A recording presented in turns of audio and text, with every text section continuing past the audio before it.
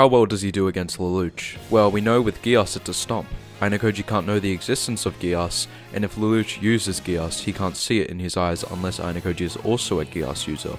So what about without the Geass?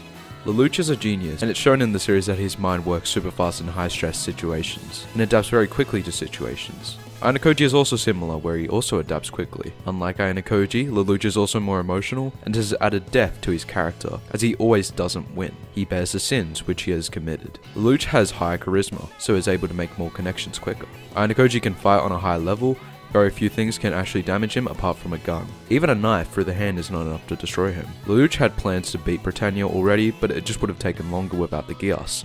This battle comes down to interpretation to which character would actually be able to put one in check.